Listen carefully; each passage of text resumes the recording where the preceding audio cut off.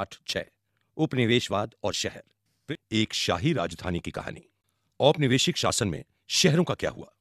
आप देख चुके हैं कि ब्रिटिश सत्ता की स्थापना के बाद गाँवों का जीवन किस तरह बदल गया था। इसी समय शहरों में क्या हो रहा था? इसका जवाब इस बात पर निर्भर करता है कि हम किस तरह के कस्बे या शहर की चर्चा करते हैं। मदुरई जैसे मंदिरों के शहर का इतिहास, ढाका जैसे उत्पादन शहरों या सूरत जैसे बंदरगाह या एक साथ कई तरह के काम करने वाले कस्बों से बिल्कुल अलग मिलेगा।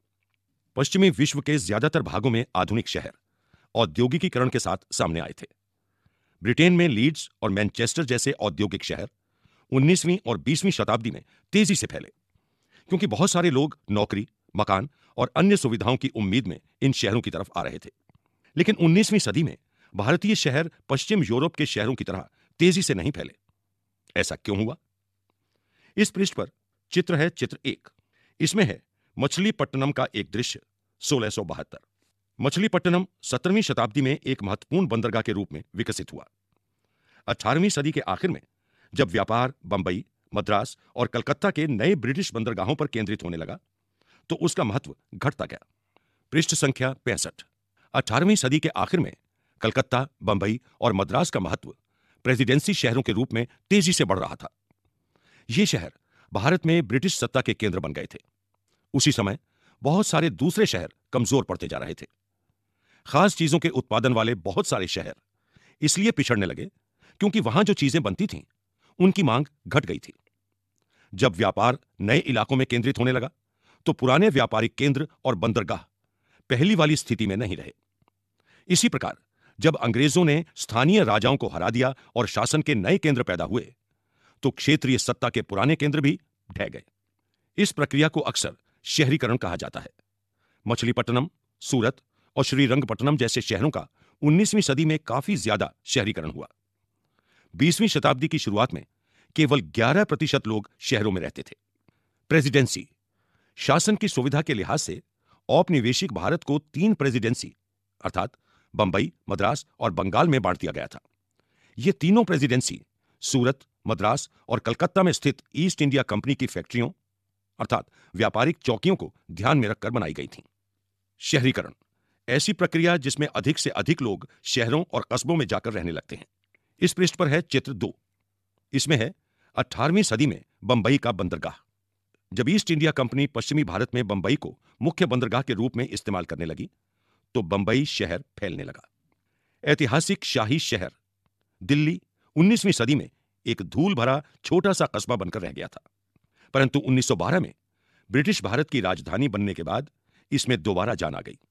आइए, दिल्ली की कहानी को सुनकर समझें कि औपनिवेशिक शासन के दौरान यहाँ क्या चल रहा था। नई दिल्ली से पहले और कितनी दिल्लियाँ थीं? आप दिल्ली को आधुनिक भारत की राजधानी के रूप में देखते हैं। क्या आपको मालूम है कि यह शहर एक हज़ार साल से भी ज़्यादा समय तक राजधानी रह चुका है? इस दौरान इसमें छोटे मोटे अंतराल भी आते रहे हैं। यमुना नदी के बाएँ किनारे पर, लगभग 60 वर्ग मील के छोटे से क्षेत्रफल में, कम से कम 14 राजधानियाँ अलग अलग समय पर बसाई गईं। आधुनिक नगर राज्य दिल्ली में घूमने पर इन सारी राजधानियों के अवशेष देखे जा सकते हैं। इनमें बारहवीं से सत्रहवीं शताब्दी के बीच बसाए गए राजधानी शहर सबसे महत्वपूर्ण थे। पृष्ठ संख्या छियासठ। इस पृष्ठ पर है चित्र तीन। यह है 19वीं सदी के मध्य में शाहजहानाबाद की एक तस्वीर। द इलिस्ट्रेटेड लंदन न्यूज़ 16 जनवरी अठारह सौ अट्ठावन। चित्र में बाईं ओर, आप लाल किला देख सकते हैं। शहर को घेरने वाली दीवारों को ध्यान से देखें। बीचों बीच चांदनी चौक का मुख्य रास्ता दिखाई दे रहा है। देखिए कि यमुना नदी लाल किले से सटकर बह रही है। अब इसका रास्ता कुछ बदल गया है। जहाँ नाव किनारे की तरफ़ बढ़ रही है, उसे अब दरियागंज कहा जाता है। दरिया का मतलब नदी और गंज का मतलब बाज़ार। इन सारी राजधानियों में सबसे शानदार राजधानी शाहजहां ने बसाई थी। शाहजहानाबाद की स्थापना सोलह में शुरू हुई। इसके भीतर एक किला महल और बगल में सटा शहर था। लाल पत्थर से बने लाल किले में महल परिसर बनाया गया था। इसके पश्चिम की ओर चौदह दरवाजों वाला पुराना शहर था। चांदनी चौक और फैज बाज़ार की मुख्य सड़कें इतनी चौड़ी थीं कि वहाँ से शाही यात्राएँ आसानी से निकल सकती थीं। चांदनी चौक के बीचों बीच नहर थी। घने मोहल्लों और दर्जनों बाजारों से घिरी जामा मस्जिद भारत की सबसे विशाल और भव्य मस्जिदों में से एक थी। उस समय पूरे शहर में इस मस्जिद से ऊँचा कोई स्थान नहीं था। शाहजहां के समय दिल्ली सूफी संस्कृति का भी एक अहम केंद्र हुआ करती थी। यहाँ कई दरगाह, खानकाह और ईदगाह थीं। बड़े बड़े चौराहों टेढ़ी मेढ़ी गलियों, खामोश कुल देसेक और जलधाराओं पर दिल्ली वालों को नाच था। शायद इसीलिए मीर तकी मीर ने कहा था, दिल्ली की सड़कें महज सड़कें नहीं हैं, वो तो किसी चित्रकार की एल्बम के पन्ने हैं। खानकाह। यात्रियों के लिए विश्राम घर और ऐसा स्थान जहाँ लोग आध्यात्मिक मामलों पर चर्चा करते हैं। संतों का आशीर्वाद लेते हैं या नृत्य संगीत कार्यक्रमों का आनंद लेते हैं। ईदगाह, मुसलमानों का खुला प्रार्थना स्थल, जहाँ सार्वजनिक प्रार्थना और त्यौहार होते हैं। कुल दे सेक, ऐसा रास्ता जो एक जगह जाकर बंद हो जाता है। दरगाह, सूफी संत का मकबरा, पृष्ठ संख्या सड़सठ। लेकिन यह भी आदर्श शहर नहीं था। इसके ऐशो आराम भी सिर्फ़ कुछ लोगों के हिस्से में आते थे। अमीर और गरीब के बीच फासला बहुत गहरा था। हवेलियों के बीच गरीबों के असंख्य कच्चे मकान होते थे। शायरी और नृत्य संगीत की रंग बिरंगी दुनिया आमतौर पर सिर्फ़ मर्दों के मनोरंजन का साधन थी। त्योहारों और जलसे जुलूसों में जब तब टकराव भी फूट पड़ते थे, सो अलग। इस पृष्ठ पर चित्र है चित्र चार। ये सत्रह में टॉमस डेनियल द्वारा बनाया गया चित्र है। इसमें है दिल्ली स्थित जामा मस्जिद का पूर्वी दरवाज़ा। मीनारों और पूरे गुंबदों वाली ये भारत की पहली मस्जिद है। इसी पृष्ठ पर है चित्र पाँच। यह है दिल्ली में निजामुद्दीन औलिया की दरगाह। स्रोत एक। दिल्ली, जो एक शहर था, आलम में इंतखाब। सत्रह सौ उनतालीस तक दिल्ली नादिर शाह के हाथों तबाही और लूट खसोट का सामना कर चुकी थी। शहर के पतन पर दुख भरे लहजे में 18वीं सदी के उर्दू शायर मीर तकी मीर कहते हैं दिल्ली, जो एक शहर था, आलम इंतखाब। हम रहने वाले हैं उसी उजड़े दयार के। मैं उसी उजड़ी हुई दिल्ली का रहने वाला हूँ, जो एक जमाने में दुनिया का सबसे भव्य शहर थी। नई दिल्ली का निर्माण। 1803 में अंग्रेज़ों ने मराठों को हराकर दिल्ली पर नियंत्रण हासिल कर लिया था। क्योंकि ब्रिटिश भारत की राजधानी कलकत्ता थी, इसलिए मुगल बादशाह को लाल किले के महल में रहने की छूट मिली हुई थी। आज हमारे सामने जो आधुनिक शहर दिखाई देता है यह 1911 में तब बनना शुरू हुआ जब दिल्ली ब्रिटिश भारत की राजधानी बन गई। पृष्ठ संख्या अड़सठ। एक अतीत का ध्वंस। अठारह सौ सत्तावन से पहले दिल्ली के हालात दूसरे औपनिवेशिक शहरों से काफ़ी अलग थे। मद्रास, बंबई या कलकत्ता में भारतीयों और अंग्रेज़ों की बस्तियाँ अलग अलग होती थीं। भारतीय लोग काले इलाकों में और अंग्रेज़ लोग सुसज्जित गोरे इलाकों में रहते थे। दिल्ली में ऐसा नहीं था। खासतौर से 19वीं सदी के पूर्वार्ध में दिल्ली के अंग्रेज़ भी पुराना शहर के भीतर अमीर हिंदुस्तानियों के साथ ही रहा करते थे। वो भी उर्दू, फारसी, संस्कृति व शायरी का मज़ा लेते थे और स्थानीय त्योहारों में हिस्सेदारी करते थे। 1824 में दिल्ली कॉलेज की स्थापना हुई, जिसकी शुरुआत 18वीं सदी में मदरसे के रूप में हुई थी। इस संस्था ने विज्ञान और मानव शास्त्र के क्षेत्र में एक नए युग का सूत्रपात कर दिया। यहाँ मुख्य रूप से उर्दू भाषा में काम होता था। बहुत सारे लोग 1830 से अठारह सौ सत्तावन की अवधि को दिल्ली पुनर्जागरण काल बताते हैं। गुल फरोशा फूलों का त्योहार, पुनर्जागरण, इसका शाब्दिक अर्थ होता है कला और ज्ञान का पुनर्जन्म। यह शब्द ऐसे दौर के लिए इस्तेमाल होता है जब बहुत बड़े पैमाने पर रचनात्मक गतिविधियाँ होती हैं। अठारह सौ सत्तावन के बाद यह सब कुछ बदल गया। उस साल हुए विद्रोह के दौरान विद्रोहियों ने बहादुर शाह ज़फ़र को विद्रोह का नेतृत्व संभालने के लिए मजबूर कर दिया। चार महीने तक दिल्ली विद्रोहियों के नियंत्रण में रही। जब अंग्रेज़ों ने शहर पर दोबारा नियंत्रण हासिल किया तो वो बदले और लूटपाट की मुहिम पर निकल पड़े। प्रसिद्ध शायर गालिब उदास मन से इन घटनाओं को देख रहे थे। अठारह में दिल्ली की तबाही को उन्होंने इन शब्दों में व्यक्त किया। जब गुस्साए शेर, यानी अंग्रेज़, शहर में दाखिल हुए तो उन्होंने बेसहारों को मारा, घर जला डाले। न जाने कितने औरत मर्द, आम और खास, तीन दरवाजों से दिल्ली से भाग खड़े हुए। और उन्होंने छोटे छोटे समुदायों तथा शहर के बाहर मकबरों में पनाह ली। अगली बगावतों को रोकने के लिए अंग्रेज़ों ने बहादुर शाह ज़फ़र को देश से निकाल दिया। अंग्रेज़ों ने उन्हें बर्मा, जिसे अब म्यांमार कहते हैं, वहाँ भेज दिया। उनका दरबार बंद कर दिया। कई महल गिरा दिए, बागों को बंद कर दिया और उनकी जगह अपने सैनिकों के लिए बैरकें बना दी। इस पृष्ठ पर है चित्र छह इसमें ब्रिटिश टुकड़ियाँ दिल्ली की सड़कों पर विद्रोहियों का कत्ले आम करके बदला ले रही हैं। स्रोत दो। कभी इस नाम का भी एक शहर हुआ है। दिल्ली में आ रहे बदलावों पर गालिब गहरे तौर पर दुखी थे। उन्होंने दिल्ली के अतीत पर लिखा था, क्या लिखूं? दिल्ली की ज़िंदगी तो किले, चांदनी चौक, यमुना के पुल पर जमने वाले चौकड़ियों और सालाना गुल फरोशा से धड़कती है। जब ये सारी चीज़ें ही यहाँ नहीं है तो दिल्ली ज़िंदा कैसे रह सकती है? हाँ, हिंदुस्तान में कभी इस नाम का भी शहर हुआ तो ज़रूर है। पृष्ठ संख्या उनहत्तर। अंग्रेज़ दिल्ली के मुगल अतीत को पूरी तरह भुला देना चाहते थे। किले के इर्द गिर्द का सारा इलाका साफ़ कर दिया गया। वहाँ के बाग, मैदान और मस्जिदें नष्ट कर दिए गए। उन्होंने मंदिरों को नहीं तोड़ा। अंग्रेज़ आसपास के इलाके को सुरक्षित करना चाहते थे। खासतौर से मस्जिदों को या तो नष्ट कर दिया गया या उन्हें अन्य कामों के लिए इस्तेमाल किया जाने लगा। मिसाल के तौर पर, जीनत अल मस्जिद को एक बेकरी में तब्दील कर दिया गया। जामा मस्जिद में पाँच साल तक किसी को नमाज़ की इजाज़त नहीं मिली। शहर का एक तिहाई हिस्सा ढहा दिया गया। नहरों को पाटकर समतल कर दिया गया। इस पृष्ठ पर है चित्र सात। यह है जामा मस्जिद से फैलिस बियतो द्वारा लिया गया फ़ोटो। अठारह उनसठ। मस्जिद के चारों तरफ़ बनी इमारतों को देखें। अठारह की बगावत के बाद उन्हें साफ़ कर दिया गया था। रेलवे की स्थापना करने और शहर को चार दीवारी के बाहर फैलाने के लिए 1870 के दशक में शाहजहानाबाद की पश्चिमी दीवारों को तोड़ दिया गया। अब अंग्रेज़ उत्तर की तरफ़ विकसित हुए विशाल सिविल लाइन्स इलाके में रहने लगे। अब वो पुराने शहर में भारतीयों के साथ नहीं रहते थे। दिल्ली कॉलेज को एक स्कूल बना दिया गया और 1877 में उसे बंद कर दिया गया। इसी पृष्ठ पर है चित्र आठ। यह है आसपास की इमारतों को गिरा देने के बाद जामा मस्जिद का दृश्य। गतिविधि। चित्र सात और आठ की तुलना करें। इन चित्रों में जो फ़र्क दिखाई देता है, उससे यहाँ रहने वाले लोगों पर क्या असर पड़े होंगे? पृष्ठ संख्या सत्तर। एक नई राजधानी की योजना। अंग्रेज़ों को दिल्ली के सांकेतिक महत्व का अच्छी तरह पता था।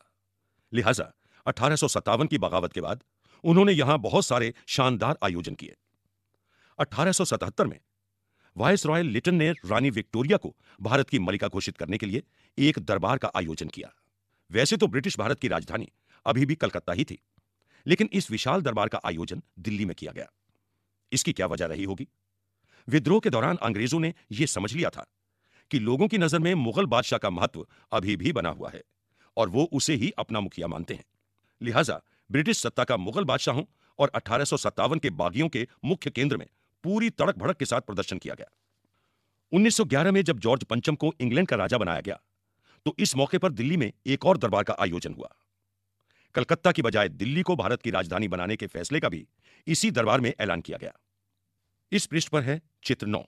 इसमें है जॉर्ज पंचम का राज्याभिषेक, यानी कॉरोनेशन दरबार 12 दिसंबर 1911 इस दरबार में एक लाख से ज़्यादा भारतीय राजा महाराजा, अंग्रेज़ अफसर और सिपाही जमा हुए थे। तत्कालीन शहर के दक्षिण में रायसीना पहाड़ी पर 10 वर्ग मील के इलाके में नई दिल्ली का निर्माण किया गया। एडवर्ड लुटियंस और हर्बर्ट बेकर नाम के दो वास्तुकारों को नई दिल्ली और उसकी इमारतों का डिज़ाइन तैयार करने का जिम्मा सौंपा गया। नई दिल्ली स्थित सरकारी परिसर में दो मील का चौड़ा रास्ता वायस रॉय के महल जो कि अब राष्ट्रपति भवन है, वहाँ तक जाने वाला किंग्सवे, जो कि अब राजपथ के नाम से जाना जाता है, और उसके दोनों तरफ़ सचिवालय की इमारतें बनाई गईं। इन सरकारी इमारतों की बनावट में भारत के शाही इतिहास के अलग अलग दौर की झलक दिखाई देती है। फिर भी इसका रूप मोटे तौर पर क्लासिक यूनान, पांचवीं शताब्दी ईसा पूर्व का दिखाई देता है। उदाहरण के लिए वाइस रॉय पैलेस का केंद्रीय गुंबद सांची में बने बौद्ध स्तूप की बनावट पर आधारित था। लाल भुरभुरे पत्थर और नक्काशीदार जालियों की प्रेरणा मुगल वास्तुशिल्पी से ली गई थी। लेकिन नई इमारतों में ब्रिटिश प्रभुत्व की झलक भी ज़रूरी थी। इसीलिए वास्तुकारों ने इस बात का ख्याल रखा कि वायसरॉय का महल शाहजहां की जामा मस्जिद से भी ऊँचा हो। इस पृष्ठ पर है चित्र दस। इसमें है रायसीना पहाड़ी के ऊपर स्थित वायसरीगल पैलेस, जो कि अब राष्ट्रपति भवन है। पृष्ठ संख्या इकहत्तर। यह काम कैसे किया जा सकता था? नई दिल्ली के निर्माण में लगभग 20 साल लगे। इरादा एक ऐसा शहर बनाने का था, जो शाहजहानाबाद के मुकाबले बिल्कुल अलग हो। उसमें भीड़ भरे मोहल्लों और सकरी गलियों के लिए कोई जगह नहीं थी। नई दिल्ली में चौड़ी, सीधी सड़कों और विशाल परिसरों के बीच बड़ी बड़ी इमारतों की कल्पना की गई थी। पुरानी दिल्ली में अफरा तफरी दिखाई देती थी। नया शहर स्वच्छ और स्वस्थ दिखाई पड़ता था। अंग्रेज़ों को भीड़ भरे इलाके गंदे और स्वास्थ्य के लिए हानिकारक बीमारियों का स्रोत दिखाई देते थे। इसीलिए नई दिल्ली में बेहतर जलापूर्ति गंदगी के निकास और नालियों की पूरी व्यवस्था तैयार की गई। उसे ज़्यादा हरा भरा बनाया गया। वहाँ पेड़ और बड़े बड़े पार्क बनाए गए ताकि लगातार ताज़ा हवा और ऑक्सीजन मिलती रहे। स्रोत तीन, नई दिल्ली की कल्पना। दिल्ली को राजधानी के रूप में चुनने के पीछे वाइस रॉय हार्डिंग ने यह वजह बताई थी। यह बदलाव भारत के लोगों की कल्पना के अनुरूप होगा और सभी लोग भारत में ब्रिटिश शासन को बनाए रखने के अदम्य संकल्प के रूप में इसकी सराहना करेंगे। वास्तुकार हर्बर्ट बेकर की राय में नई राजधानी, अच्छे शासन और एकजुटता का पाषाण प्रतीक होनी चाहिए, जो ब्रिटिश शासन के तहत भारत के इतिहास में एक नई बात है। भारत में ब्रिटिश शासन केवल शासन और संस्कृति की एक परत भर नहीं है, ये एक पनपती हुई नई सभ्यता है। इसमें पूर्व और पश्चिम के श्रेष्ठ तत्वों का मिश्रण है। दिल्ली के वास्तुशिल्प में इस महान तथ्य की झलक मिलनी चाहिए। 2 अक्टूबर 1912 गतिविधि। कल्पना कीजिए कि आप राष्ट्रपति भवन की ओर देखते हुए रायसीना हिल की ओर बढ़ रहे हैं। क्या बेकर की तरह आपको भी ऐसा लगता है कि इस इमारत की ओर देखने से भव्यता और ब्रिटिश सत्ता की ताकत का बोध होता है? गतिविधि। क्या आप इस अध्याय में ऐसे दो उदाहरण ढूंढ सकते हैं, जिनसे पता चलता है कि राजधानी की छवि के बारे में कोई भिन्न तरह की सोच भी मौजूद थी? पृष्ठ बहत्तर, विभाजन के समय जीवन। 1947 में भारत के विभाजन से नई सीमा के दोनों तरफ़ आबादी बड़ी तादाद में विस्थापित हुई। इसका नतीजा यह हुआ कि दिल्ली की आबादी बढ़ गई रोज़गार बदल गए और शहर की संस्कृति बिल्कुल भिन्न हो गई। स्वतंत्रता और विभाजन के कुछ ही दिनों बाद भीषण दंगे शुरू हो गए। दिल्ली में हज़ारों लोग मारे गए और उनके घर बार लूटकर जला दिए गए। दिल्ली से पाकिस्तान जाने वाले मुसलमानों की जगह पाकिस्तान से आए सिख और हिंदू शरणार्थियों ने ले ली। शाहजहानाबाद में लावारिस मकानों पर कब्जे के लिए शरणार्थियों के झुंड घूमने लगे। कई बार उन्होंने मुसलमानों को भाग जाने और अपनी संपत्ति बेचने के लिए मजबूर भी किया। दिल्ली के दो तिहाई मुसलमान पलायन कर गए थे, जिससे लगभग चवालीस हज़ार मकान खाली हो गए। बहुत सारे मुसलमान पाकिस्तान जाने के इंतज़ार में काम चलाऊ शिविरों में रहने लगे। उस समय दिल्ली शरणार्थियों का शहर बन गई थी। दिल्ली की आबादी में लगभग पाँच लाख की वृद्धि हो गई, जबकि उन्नीस सौ इक्यावन में यहाँ की आबादी आठ लाख से कुछ ही ज़्यादा थी। ज़्यादातर लोग पंजाब से आए थे। वो शिविरों, स्कूलों, फौजी बैरकों और बाग बागीचों में आकर रहने लगे। उनमें से कुछ को खाली पड़े मकानों पर कब्जे का मौका मिल गया। बहुत सारे लोग शरणार्थी बस्तियों में रहने लगे। लाजपत नगर और तिलक नगर जैसी बस्तियाँ इसी समय बसी थीं। दिल्ली में आने वालों की जरूरतों को पूरा करने के लिए दुकान और स्टॉल खुल गए। कई नए स्कूल और कॉलेज भी खोल दिए गए। जो लोग यहाँ से गए थे, उनकी जगह आए शरणार्थियों की निपुणता और काम धंधे बिल्कुल अलग थे। पाकिस्तान जाने वाले बहुत सारे मुसलमान, कारीगर छोटे मोटे व्यापारी और मजदूर थे। दिल्ली आए नए लोग, ग्रामीण, भूस्वामी, वकील, शिक्षक, व्यापारी और छोटे दुकानदार थे। विभाजन ने उनकी ज़िंदगी और उनके व्यवसाय बदल दिए थे। फेरी वालों, पटरी वालों, बढ़ई और लुहारों के तौर पर उन्होंने नए रोज़गार अपनाए। इनमें से बहुत सारे नए व्यवसायों में काफ़ी सफल भी रहे। पंजाब से आई विशाल टोलियों ने दिल्ली का सामाजिक परिवेश पूरी तरह बदल दिया। भोजन, पहनावे और कला के हर क्षेत्र में मुख्य रूप से उर्दू पर आधारित शहरी संस्कृति नई रुचियों और संवेदनशीलता के नीचे दब गई।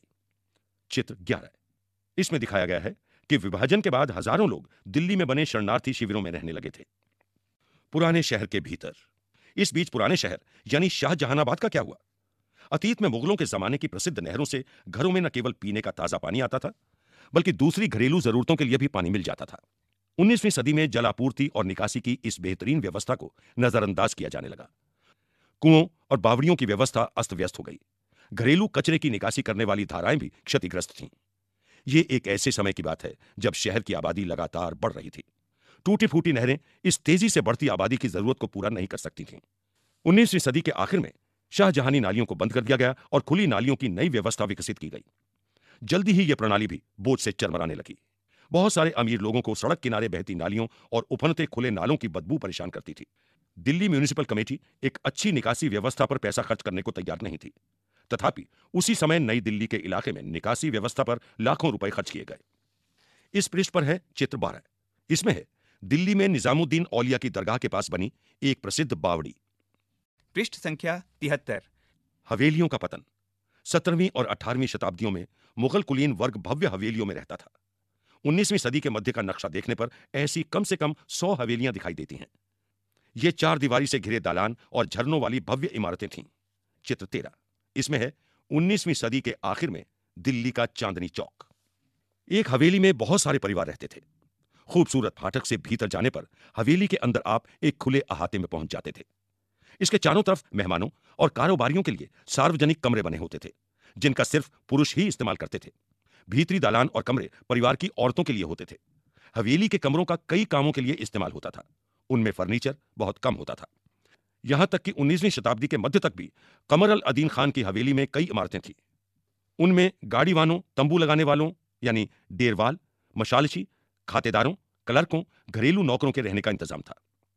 बहुत सारे मुगल अमीर ब्रिटिश शासन के समय इन विशालकाय इमारतों को संभालने की हालत में नहीं थे। फलस्वरूप हवेलियाँ बटने लगीं।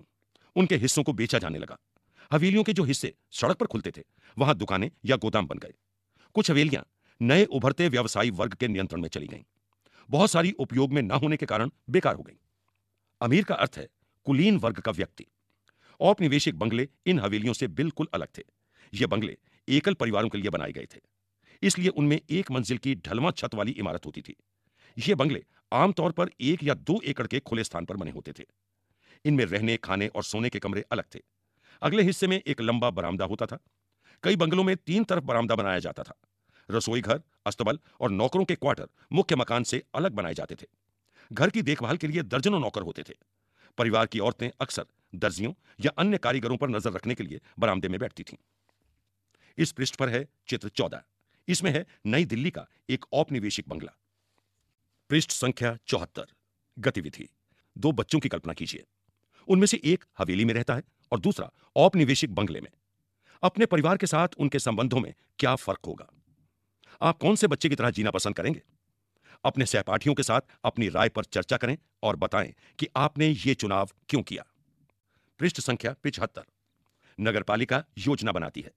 1931 की जनगणना से पता चला कि पुराने शहर के इलाके में भयानक भीड़ है। यहाँ प्रति एकड़ 90 लोग रहते थे, जबकि नई दिल्ली में प्रति एकड़ केवल तीन लोगों का औसत था। पुराने शहर के बिगड़ते हालात के बावजूद उसका फैलना जारी रहा। पुराने शहर के निवासियों के लिए रॉबर्ट क्लार्क ने 1888 में लाहौर गेट सुधार योजना के नाम से एक विस्तार योजना तैयार की। इसके पीछे सोच ये थी कि यहाँ के निवासियों को पुराने शहर से अलग एक नए तरह के चौराहा बाज़ार की तरफ़ ढकेला जाए। इस चौराहे पर चारों तरफ़ दुकानों की कल्पना की गई थी।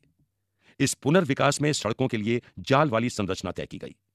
सभी सड़कों की चौड़ाई, आकार और स्वरूप एक जैसा होना था। मोहल्लों के निर्माण के लिए ज़मीन को एक जैसे टुकड़ों में बांट दिया गया था। इस नए स्थान को क्लार्कगंज का नाम दिया गया। यह कभी पूरा नहीं हो पाया और उसने पुराने शहर को भीड़ से आज़ाद कराने में कोई मदद नहीं की।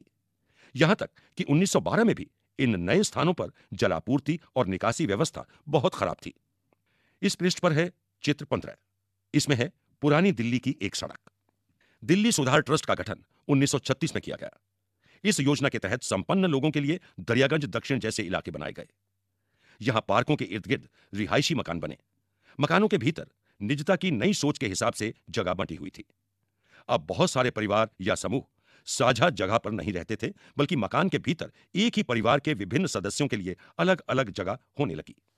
पृष्ठ संख्या छिहत्तर, अन्यत्र। इस पृष्ठ पर चित्र 16 में दिखाया गया है, नई दिल्ली का सचिवालय। इसी पृष्ठ पर चित्र 17 में दिखाई गई है, दक्षिण अफ्रीका स्थित प्रिटोरिया शहर की यूनियन बिल्डिंग। जिसकी रूपरेखा बेकर ने तैयार की थी। अगर आप चित्र 16 और 17 को देखें तो पाएँगे कि इन दोनों इमारतों में भारी समानता है। लेकिन ये दोनों इमारतें बिल्कुल अलग अलग महाद्वीपों की हैं। इस बात से क्या पता चलता है? दक्षिण अफ्रीका में हर्बर्ट बेकर। 1890 की दशक की शुरुआत में हर्बर्ट बेकर नाम का एक युवा अंग्रेज़ वास्तुकार काम की तलाश में दक्षिण अफ्रीका पहुँचा। यहीं बेकर की मुलाकात केप टाउन के गवर्नर सेसिल रोड से हुई। जिसने बेकर के भीतर ब्रिटिश साम्राज्य के प्रति प्यार और प्राचीन रोमन व यूनानी वास्तुशिल्प के प्रति प्रशंसा का भाव पैदा कर दिया।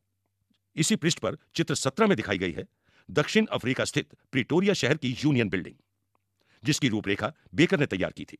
इसमें प्राचीन प्रतिष्ठित वास्तुशिल्प के तत्वों का इस्तेमाल किया गया था, जिनका बेकर ने नई दिल्ली स्थित सचिवालय भवन की योजना में भी इस्तेमाल किया। यूनियन बिल्डिंग भी नई दिल्ली स्थित सचिवालय भवन, जो कि चित्र 16 में दिखाया गया है, उसी की तरह एक पहाड़ी पर स्थित थी।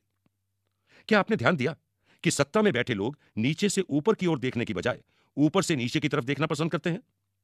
यूनियन बिल्डिंग और सचिवालय भवन दोनों को शाही दफ्तरों के लिए बनाया गया था।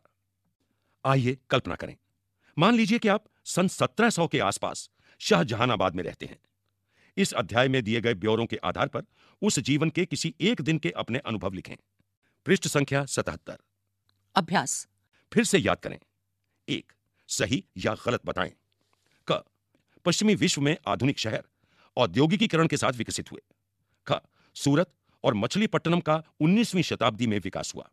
ग 20वीं शताब्दी में भारत की ज़्यादातर आबादी शहरों में रहती थी। घ, अठारह के बाद जामा मस्जिद में पाँच साल तक नमाज़ नहीं हुई। न, नई दिल्ली के मुकाबले पुरानी दिल्ली की साफ़ सफ़ाई पर ज़्यादा पैसा खर्च किया गया। दो, रिक्त स्थान भरें। सफलतापूर्वक गुंबद का इस्तेमाल करने वाली पहली इमारत रिक्त स्थान थी। ख, नई दिल्ली और शाहजहानाबाद की रूपरेखा तय करने वाले दो वास्तुकार रिक्त स्थान और रिक्त स्थान थे। ग, अंग्रेज़ भीड़ भरे स्थानों को रिक्त स्थान मानते थे। घ, रिक्त स्थान के नाम से 1888 में एक विस्तार योजना तैयार की गई। तीन, नई दिल्ली और शाहजहानाबाद की नगर योजना में तीन फ़र्क ढूंढें। चार, मद्रास जैसे शहरों के गोरे इलाकों में कौन लोग रहते थे? आइए विचार करें। पाँच, शहरीकरण का क्या मतलब है? छह, अंग्रेज़ों ने दिल्ली में ही विशाल दरबार क्यों लगाया, जबकि दिल्ली राजधानी नहीं थी? सात, पुराना दिल्ली शहर ब्रिटिश शासन के तहत किस तरह बदलता गया? आठ, विभाजन से दिल्ली के जीवन पर क्या असर पड़ा? आइए करके देखें। नौ अपने शहर या आसपास के किसी शहर के इतिहास का पता लगाएँ। देखें कि वो कब और कैसे फैला तथा समय के साथ उसमें क्या बदलाव आए हैं। आप बाजारों, इमारतों, सांस्कृतिक संस्थानों और बस्तियों का इतिहास दे सकते हैं। दस, अपने शहर, कस्बे या गाँव के कम से कम दस व्यवसायों की सूची बनाएँ। पता लगाएँ कि ये व्यवसाय कब से चले आ रहे हैं। इस सूची से इस इलाके में आए बदलावों के बारे में क्या पता चलता है। इसी के साथ ये पाठ